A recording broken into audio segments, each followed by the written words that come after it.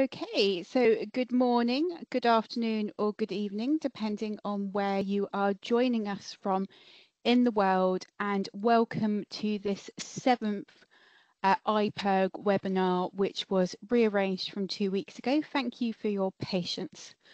Uh, for those of you who don't know me, my name is Melanie Tuffin, and I am the Secretary and Treasurer of IPRRG, and I will be your host today. I'm just going to start off by giving you a little bit of background about the webinar series. So obviously, our annual meetings were suspended due to COVID-19. So we decided to instigate this monthly seminar series. You can find information on upcoming webinars on our website. And we're trying to cover various topics of interest to IPRRG members. If you would like to give a webinar or you have a good idea or know somebody who you think would be really good to give one of our webinars, then please do contact me on melanie at mgtuffin.com. Our webinars are all free and public access, but because the presenters come from across the globe, you may find the timing of individual presentations may vary, so please do check what time the webinar will be in your time zone. The duration of the presentations will vary, but mostly we'll be aiming to keep them around 20 to 40 minutes. And we have a YouTube channel, so you will be able to catch up and rewatch on YouTube afterwards. So you'll find there's both a chat and Q&A function. So please feel free to say, tell us where you're watching from today in the chat, but if you do have any questions for our speaker, excuse me, please use the Q&A function. So as I was saying, we do have a YouTube channel and we would love it if you could find us and if you could subscribe to us if you wanted to. So just some upcoming news on our August webinar. This will be by Ryan Carlos Oliveira uh, from Brazil and he will be talking about the current and future potential distributions of Helicoverpa punctigera and is this the next fall armyworm? So that's going to be the 25th or 26th of August, depending on where you are, and there's some various time zones for you. So thank you very much. So today we will be having um, Debbie Hemming from the Met Office. Now, Debbie can't join us just yet. So I'm going to be playing a video and then hopefully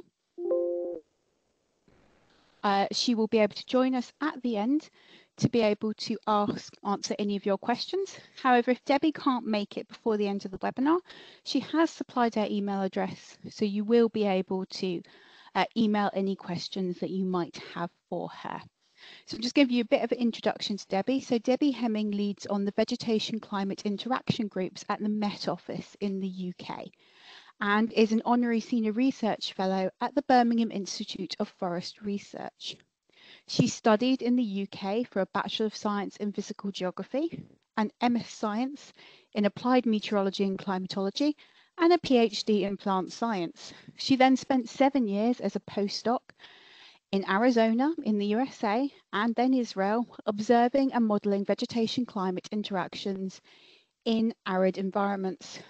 Her personal research is focused on understanding and modeling plant phenological changes and applying the latest climate data and models to improve understanding of climate pest interactions. Since 2015, she has led the Met Office's collaboration with DEFRA, so that's the Department of Environment, Food and Rural Affairs in the UK, uh, Plant Health and Risk and Horizon Scanning team. Today, she's going to present a brief overview of this work and highlight recent developments in microclimate modelling for informing plant pest risk management in the UK. So just give me a moment and I will start sharing that video.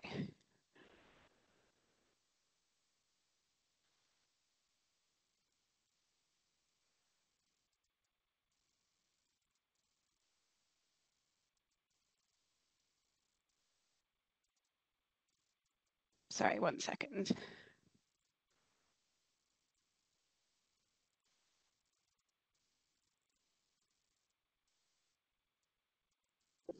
Hello.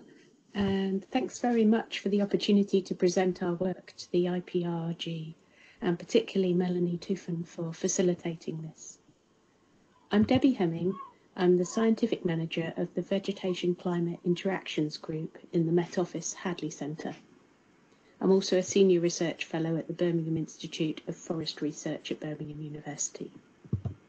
In this presentation, I'll give a really brief overview of the work we've been doing to provide better and more integrated climate data and models for assessing UK pest risk.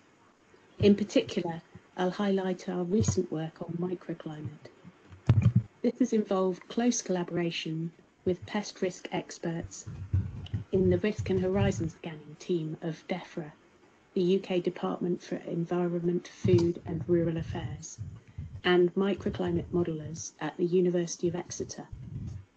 I've also included here the logos of the other organisations that we've collaborated with on this work over the years.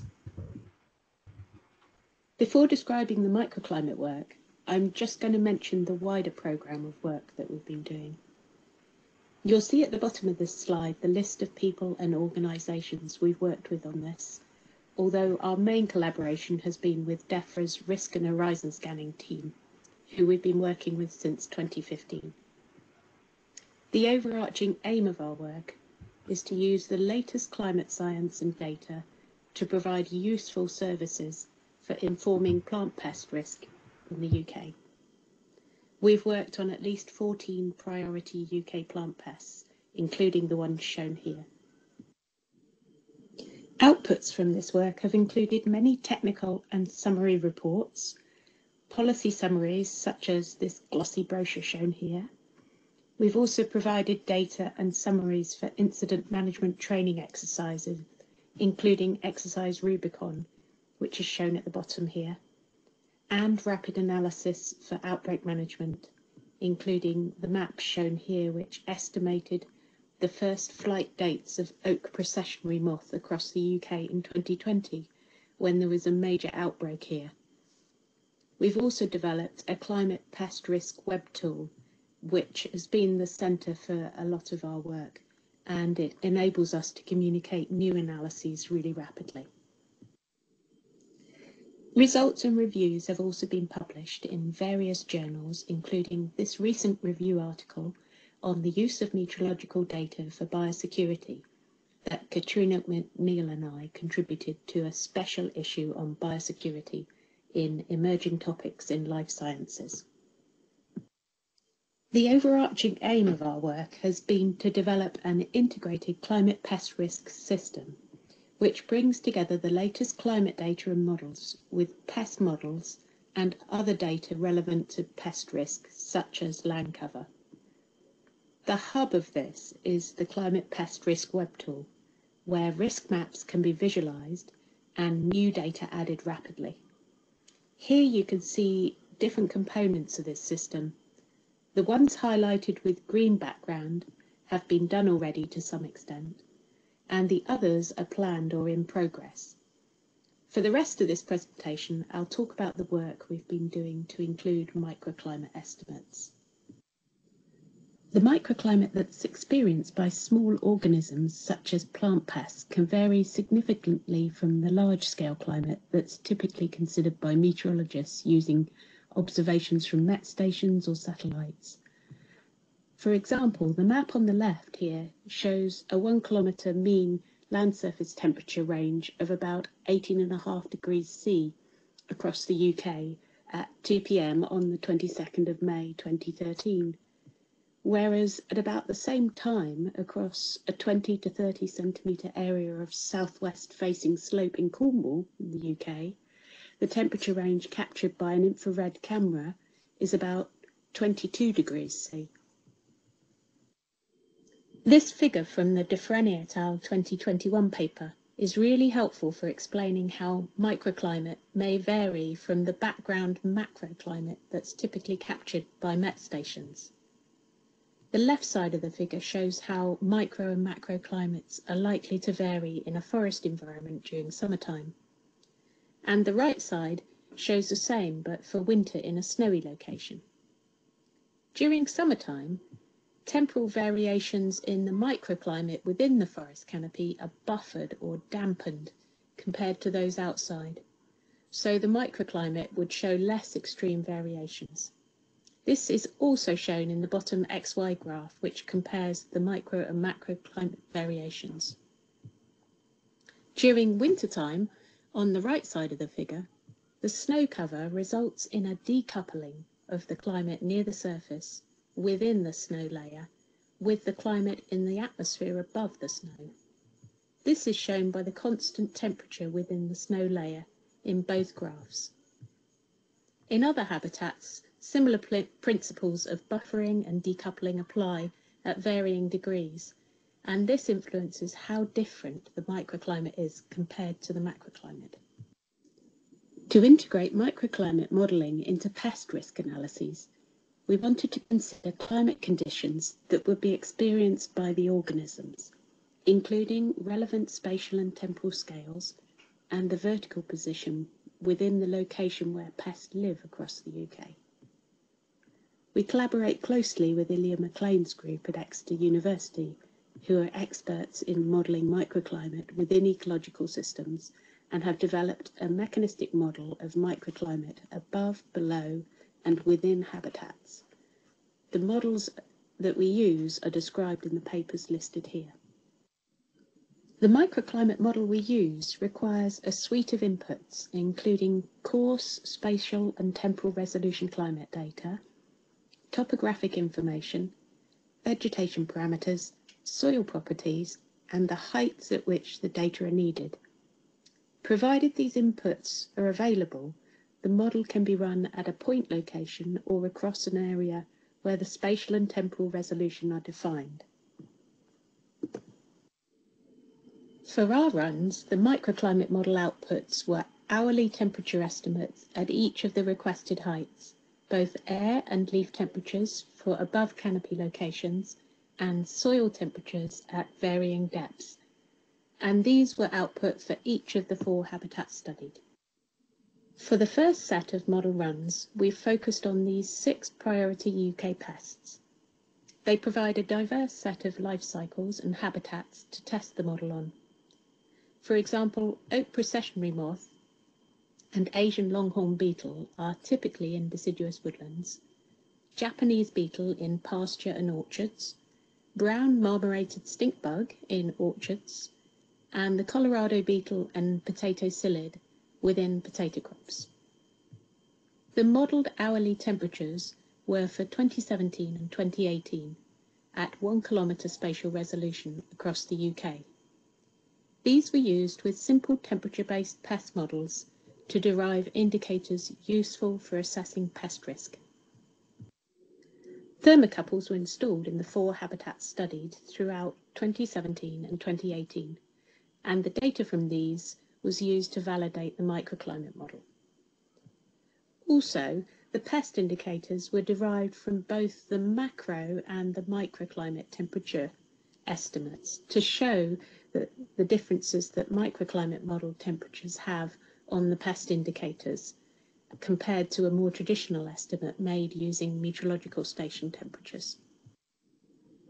Most of the results are still being analysed, so I'll just show some results for the Japanese beetle here.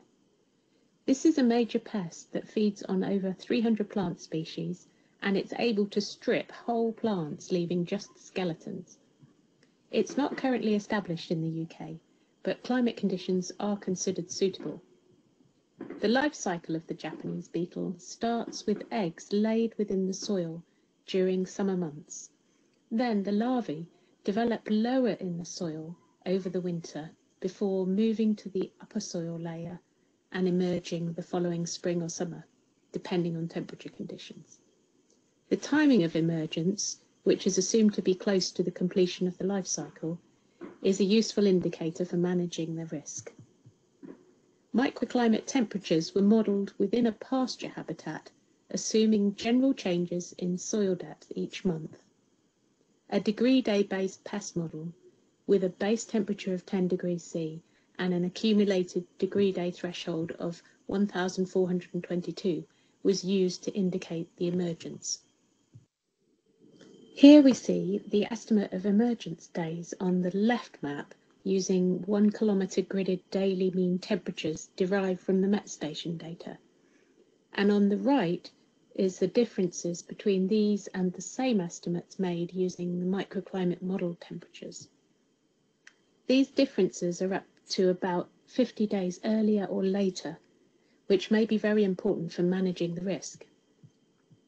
The differences are not totally intuitive and we're still trying to understand them fully, but it looks like locations where the microclimate estimates are later than those using the Met station temperatures, so the red on the map to the right, are where microclimate model temperatures are generally cooler during the larvae development period, possibly due to topography or other local surface condition differences. Whereas Blue areas on this map are generally where the microclimate model temperatures are warmer than those of the Met stations, such as due to vegetation or soil buffering in wintertime. Emergence day estimates were also compared using hourly or daily mean microclimate temperatures in the degree day models.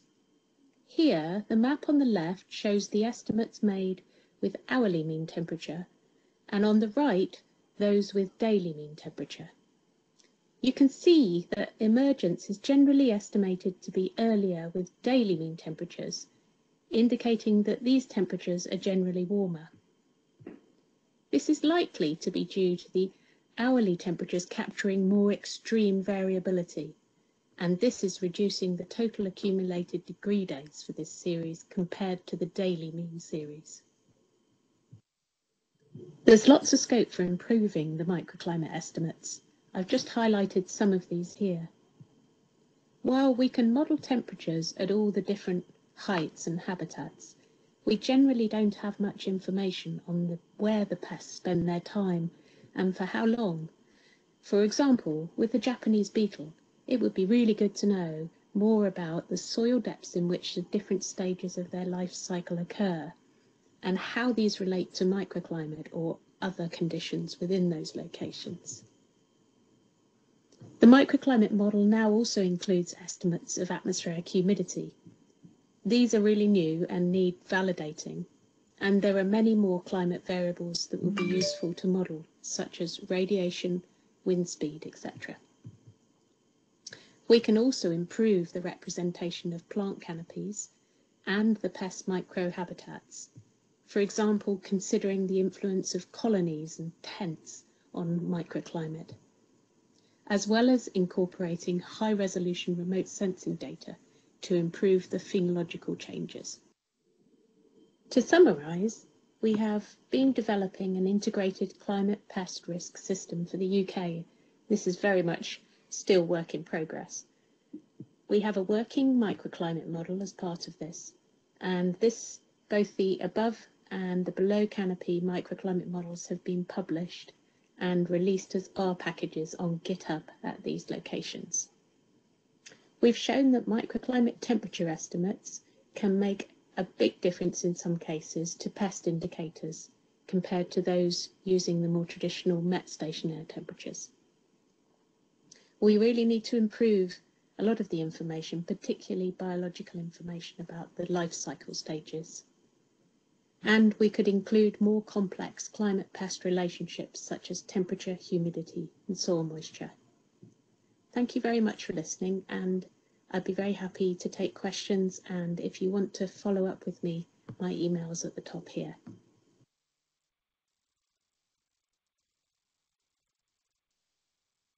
Okay, so thank you very much. Debbie has now joined us. Um, so welcome, Debbie. Oh, can you hear me, Debbie?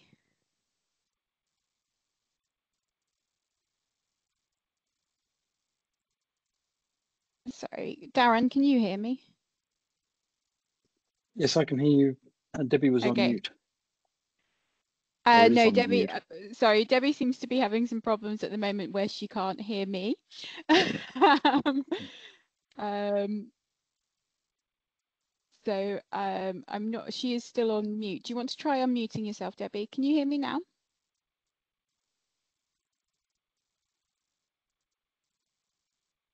Okay, no. So unfortunately, as is often the way, we have hit some technical difficulties. Um, so I'm afraid that if you do have any questions, I'm sure that Debbie would be delighted um, to answer them if you wanted to follow them up with her uh, by email. Um, and she's also willing to answer some questions in the chat. So uh, I can start off by um, asking if, so I can start off by uh, typing a question to her. Um, so,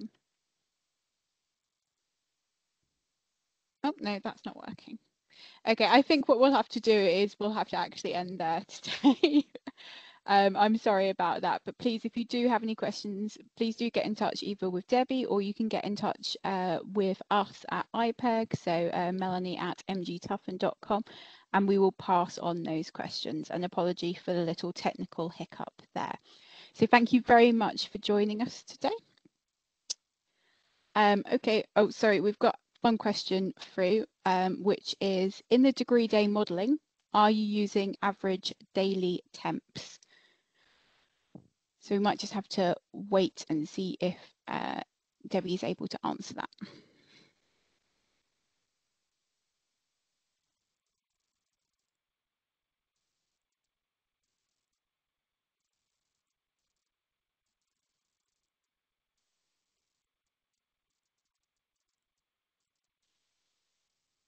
No, I think you're no. um nope. muted. I'm sorry about that, Debbie, and um, sorry for our viewers today, but thank you very much for joining us and um, hopefully we'll be able to answer some of your questions via correspondence. So please do tune in for next month's uh, webinar and we will see you all again soon. Bye bye for now.